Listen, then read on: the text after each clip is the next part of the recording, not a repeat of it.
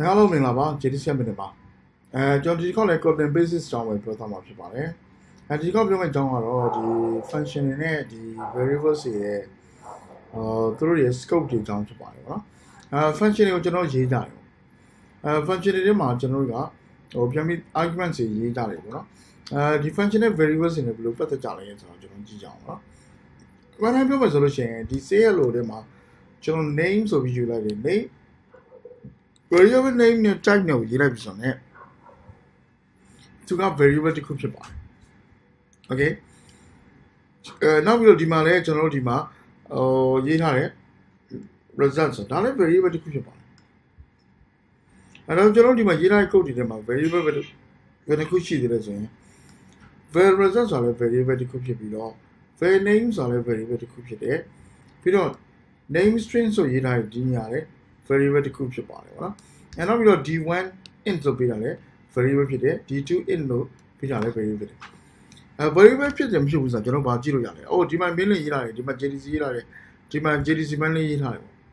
အဲဒီမှာ30 20ရေးထားတယ်ဒါတွေက variable မဟုတ်လားမဟုတ်ဘူးဒါတွေကဟိုတန်မိုးတွေသာဖြစ်တယ်အဲ variable ရပါလဲဆိုတော့သူ့မှာကျွန်တော် type ဒီမှာ name ဆို type ရေးထားဘူးဒါပေမဲ့အနောက်မှာ type ဆိုတာကျွန်တော်တို့မရေးထားပေမဲ့ type ခံမှန်းလို့ရတဲ့အတွက် ဒါတတ်မှတ်လို့ရတာဖြစ်တယ်ပေါ့နော်ဟိုသူ့ရဲ့ type ကိုဘာလဲဆိုတော့ string ဆိုတော့သိနေ get name ကိုခေါ်တဲ့အခါမှာ return type က string ဖြစ်တဲ့အတွက်ဒီ variable name ကဟို Kotlin ကသူကဒီ intelligent ID ရဲ့ဟို intelligent ID ရနေပြီးတော့ဒီအလိုလျောက်ကိုခံမှန်းပေးထားတာပဲဖြစ်တယ်အဲဒီမှာ result ဆို value result လို့ရေးလိုက်ပြီဆိုတော့ဒါလည်း variable တစ်ခုပဲအဲသူကလည်းဒီညမှာ add ဆိုတဲ့ function ခေါ်လိုက်တဲ့အချိန်မှာ သူက return type က int ဖြစ်တယ်သူက add ကိုခေါ်ရင် int ဖြစ်မှာပဲဆိုတော့ခံမှန်းပြီးသိနေတဲ့အတွက်သူ့ရဲ့ type ကိုရေးစရာမလိုတာပဲဖြစ်တယ်အဲဆိုကြမလို့ဒီညမှာ okay ကျွန်တော် int oh sorry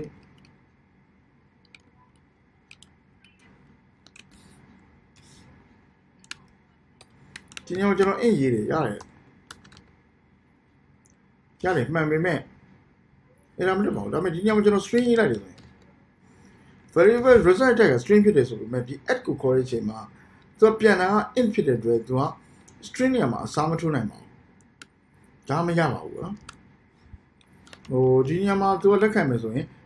int ဒါမှမဟုတ်လို့ရှင်မရေးပဲထားရင်တော့ရတယ်မရေးပဲထားရင်သူက int ဖြစ်တယ်ဆိုတာခံမှန်းပြီးသိနိုင်ပါဒါ ID ရနေနည်းနည်းလေးဟိုချော်တုံးငုတ်ထားတဲ့အပိုင်းပဲဖြစ်ပါတယ်ဗောနော်ဒီရင်းကျတော့ရေးကိုရေးရမှာ ID ကခံမှန်းလို့ရတဲ့အဲသူက မလုပ်လဲရရင်ဆိုပြီးဖြုတ်ထားတာဖြစ်တော့မအာပြောမယ်ဆို Kotlin ဆိုတဲ့ language ကိုတည်းက IntelliJ ကြီးကိုရေးခဲ့တဲ့သူတွေကရေးခဲ့တဲ့အတွက်သူ့ရဲ့ ID နဲ့ရေးရင်သူကဒါတွေဖြုတ်လို့ရရင်ဆိုပြီးသူဖြုတ်ထားခဲ့တယ်မှာမှန်တာပဲဒါပေမဲ့ programming language ခုအနေနဲ့ကြည့်မယ်ဒါစနစ်မကျတဲ့ဟိုရောင်းဝဝဖြစ်စေတဲ့အပိုင်းတွေလည်းဖြစ်တယ်ပေါ့နော်ဒါပေမဲ့ထားပါ ID ရဲ့ကိုကိုယူပြီးဒါသူတို့ဖြုတ်သွားတာဖြစ်တယ်အဲဒါပေမဲ့ကျွန်တော်သိထားဖို့တော့လိုတာတော့မှန်တယ်ပေါ့နော် Okay ဒါပြင်ကျွန်တော်တို့ဒီ variables တွေကိုကျွန်တော်တို့ function တွေကနေဘယ်လိုသုံးပါလဲပေါ့ အဲ variables ရဲ့ပုံညာပုံစံတွေကြည့်မယ်ဆိုရင်ဒီညမှာ variables ဆိုတာလည်း variable တစ်ခုဖြစ်တယ် var name ဆိုတာလည်း variable ဖြစ်တယ်အဲနောက်ပြီးဒီညမှာ name နဲ့ type နဲ့သတ်မှတ်လိုက်ပြီဆိုရင်လည်းသူက variable ဖြစ်ပါတယ်ဖြစ်ပြန်တယ်အဲဒီညမှာ d1 int d2 int ဆိုပြီးဒါတွေကလည်းမတိကိန်းတွေဖြစ်တယ်ဒါကြောင့်မတိကိန်းတွေသုံးပြီးတော့ကျွန်တော်တို့က program တွေကိုရေးထားလို့ရတယ်ဒီကောင်ရဲ့ tempo ဖြစ်တယ် tempo နဲ့ variable ဆိုကျွန်တော်တို့ကကွဲအောင်ကြည့်ဖို့လိုတယ် tempo တွေကို variable နေရာတွေမှာအစားထိုးပြီးတော့ကျွန်တော်တို့အသုံးပြုလို့ရတယ်ဟုတ်ပြီဒါပြင်ကျွန်တော် variable function ထဲမှာရှိတဲ့ variables တွေအမျိုးအစားတွေကျွန်တော်ကြည့်အောင်ကျွန်တော် variables မှာရေးလို့ရရတယ်ကျွန်တော်ဒီ top level မှာကျွန်တော်ရတယ် val ဟို count ဆို val count ဆိုပြီးကျွန်တော်ဒီမှာရေးလိုက်မယ်အဲသူရဲ့ type က int ဖြစ်တယ်သူကကုန်သားဖြစ်တယ်အဲဆိုတော့ say hello ခေါ်တဲ့အချိန်မှာ အာကျွန်တော် say hello ဘယ်နှချိန်ခေါ်သွားလဲဆိုတာကျွန်တော်သိချင်တယ်ပေါ့အဲဒီ count ဆိုတဲ့ variable ဆိုကျွန်တော်ကဒီ function ရဲ့အပြင်မှာရေးထားတယ်ပေါ့အဲဒီ source file ရဲ့ top level မှာရေးထားတယ်ဒီ variable ဆိုတာဘယ်လိုပြောမလဲဆိုရင်ဒီထဲမှာရှိဒီ source file ထဲမှာရှိတဲ့ဒီအရာတွေမှန်သမျှနေရာတွေအကုန်လုံးကနေပြီးသူတွေ့နိုင်တယ်အဲအဲ့လို variable ဆို global variable ဆိုခေါ်တယ်ဒါထိတ်ဆုံးမှရေးမရေးရရတယ်ကျွန်တော်ဒီအောက်ဆုံးမှရေးထားမယ်ဆိုလည်းရတယ်ပြဿနာမရှိဘူး ကောင်းဆိုရေးထားသူ့ကိုဘယ်မှာသုံးလို့ရလဲရေးထားတဲ့ variable ဆိုကျွန်တော်ပြန်သုံးအောင်ပါတော့ okay ဒါပြင် say hello ကိုခေါ်တဲ့ချိန်မှာအဲကျွန်တော်ဒီမှာ count plus plus ဆိုရေးလိုက်တယ်ရေးလို့ရတယ်အာပြီးတော့မှ hello ဒီမှာအဲကျွန်တော် count ဆိုပြီး hello count ဆိုပြီးကျွန်တော်ဒီမှာရေးလိုက်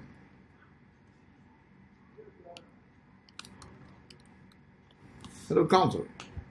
hello 1 2 3ဆိုကျွန်တော်ဒါ run ကြည့်အောင်ဗျအဲကျွန်တော် save လို့ခေါ်နေတာဒီနေရာမှာ2ချိန်3ချိန်ရှိတယ်ကျွန်တော် run ကြည့်အောင်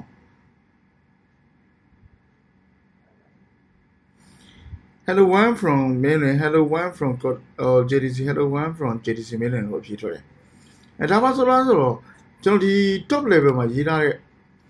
ဒီ variable တစ်ခုအဲ့ variable global variable လို့ခေါ်တယ်သူရှိနေတဲ့ source code file တွင်းမှာ သူဘယ်နေရာမှာရေးထားတာထိဆုံးမှာရေးအောက်မှာရေးကျန်တဲ့နေရာတွေအကုန်လုံးကသူ့ကိုသိနိုင်တယ်အဲ့အတွက်ကျွန်တော်ဒီနေရာမှာ say hello ဆိုတဲ့ function တွေကနေပြီးတော့ဒီ global variables ကိုကျွန်တော်ပြန်ပြီး access လုပ်လို့ရတယ်သူ့ကိုတစ်ခါခေါ်တိုင်းတစ်တိုးသွားတယ်အဲ့ကြောင့်အဖြစ်မှာဘုရားလုံးကိုကြည့်ချိန်မှာ1ဖြစ်ပြီးတော့ဒုတိယခွင်မှာ2ဖြစ်ပြီးတော့တစ်ထပ်ကိုချိန်မှာ3ဖြစ်သွားတာဖြစ်တယ်အဲဒါ global variable ဆိုပြောတာအဲ top level မှာရေးထားတဲ့ဟာတွေအားလုံးက global variable ဖြစ်ပြီးတော့အဲဒီလိုမျိုးကျွန်တော်တို့ဒီ method ရဲ့ argument တွေ ကြည့်ပြီးတော့ဒီ method တွင်းမှာရေးထားတဲ့အရာတွေအားလုံးက local variable ဆိုမှာ local variable ဆိုပြီးဆိုကြပါစို့ဒီ name ဆိုတဲ့ဒီ argument ဆိုကျွန်တော်တခြား function ကနေပြီးတော့ခုံလို့ခေါ်လို့ရတာဆိုမရနိုင်ဘူးဒီ name ဆောင်ရေးထားတဲ့နေရာနေစပြီးတော့ဒီအတုံဝင်လေးစတဲ့အချိန်ကနေပြီးတော့အဆုံးဝင်လေးအထိကြားမှာပဲသုံးလို့ရတယ်။တော့ဒီကြောင့်ကျွန်တော် name ရေးထားတယ်အတွင်းမှာကျွန်တော်သုံးလို့ရတယ်။ဘာလို့လဲဆိုတော့သူကသူ့ရဲ့ scope တွင်းမှာရှိနေတဲ့ဖြစ်ဖြစ်တယ်။အဲဒီလိုမျိုး ဒီ top level မှာမရေးထားတဲ့ function တွေ variables တွေအားလုံးကသူတို့တွေကဘာလဲဆိုလို့ရှိရင် local variables တွေဖြစ်ကြတယ် global နဲ့ local ကမတူပါဘူး global ကတော့ top level မှာရေးထားတဲ့ variables ဆိုတာသူ့ကိုကြိုက်တဲ့နေရာသုံးလို့ရတယ်အဲဒီနေရာမှာလည်းကျွန်တော်ဒီမှာဘာမှမရဘဲနဲ့ s out ဆိုပြီးတော့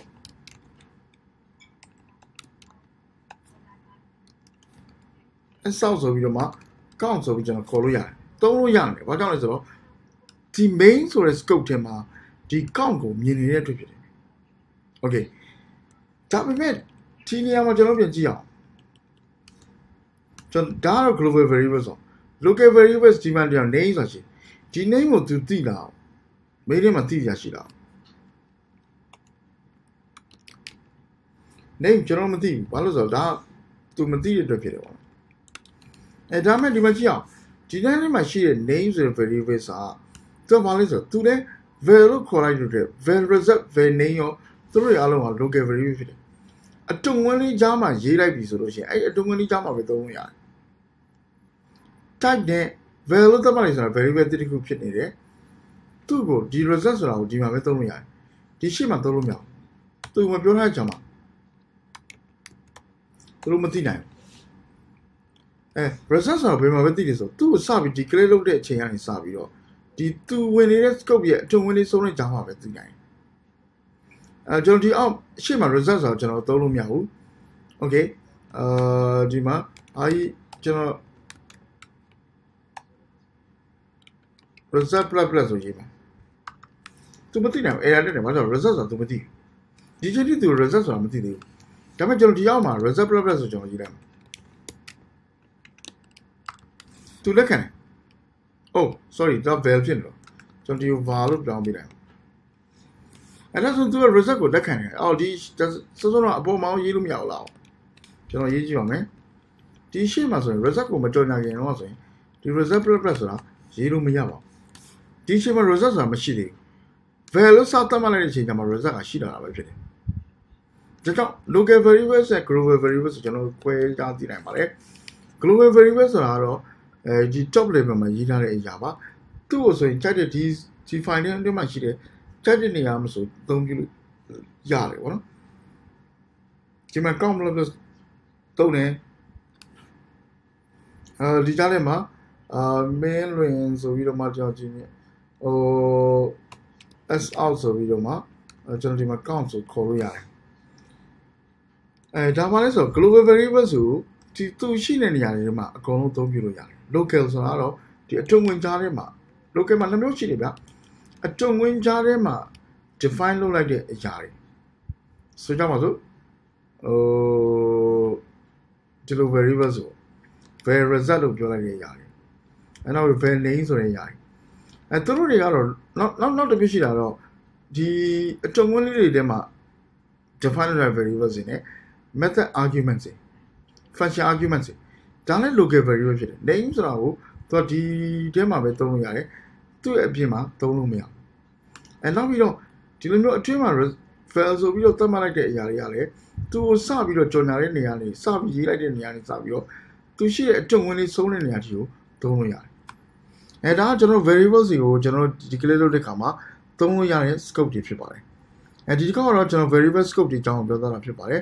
အဲဒါမှမဟုတ်ကျွန်တော် variable ပြောတဲ့နေရာမှာကျွန်တော် OOB ကိုမသုံးသေးပါဘူးလို့ဆိုရင်ကျွန်တော်ဒီ